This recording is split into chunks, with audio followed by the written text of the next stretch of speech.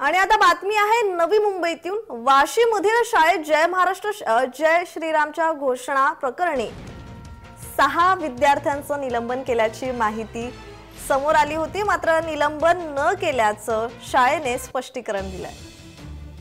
तर वाशीमधील शाळेत जय श्रीरामच्या घोषणा दिल्याचं प्रकरण हे समोर आलं होतं. तर सहा विद्यार्थ्यांचं निलंबन केल्याची माहिती या प्रकरणी समोर आली होती. मात्र आता नवी माहिती ताजा तपशील समोर येतोय.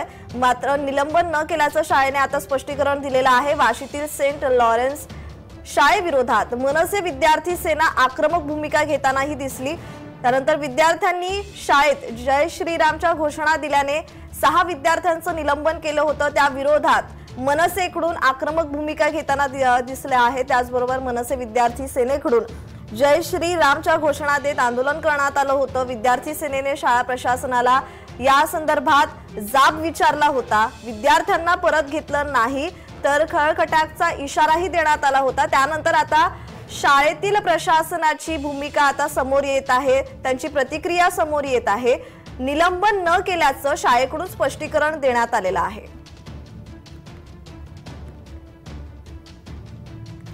रस्टिकेट ये वर्ड मैंने यूज़ नहीं किया है ना सस्पेंड ये वर्ड यूज़ किया है। पेरेंट्स को यही बोला है कि आप लोग ज़रा पता कीजिए इन्होंने क्यों ऐसा चिल्ला के गए कभी ऐसा होता नहीं है स्कूल में लेकिन मंडे को जब हुआ है ऐसा discipline action I have to take that's what ma'am क्या एक्शन लिया?